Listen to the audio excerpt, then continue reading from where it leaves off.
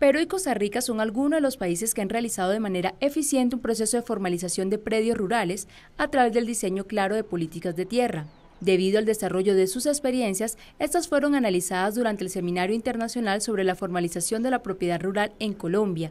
ya que el objetivo del Gobierno Nacional es crear un programa de formalización y regular la tenencia de 150 mil predios. Se han logrado formalizar diferentes predios y donde se han logrado establecer unas rutas jurídicas que permiten agilizar estos procesos y la idea es que todos estos aprendizajes, así como las de otros países, permitan crear las metodologías y las rutas jurídicas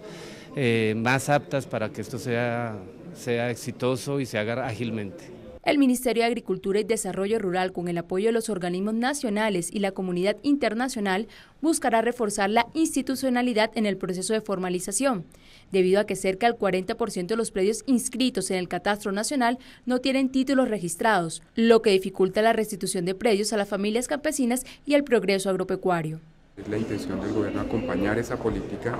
con una, con una política de desarrollo rural que le permite a la gente no solamente tener la propiedad, sino acceder al financiamiento, a la tecnología, a la asistencia técnica, etcétera,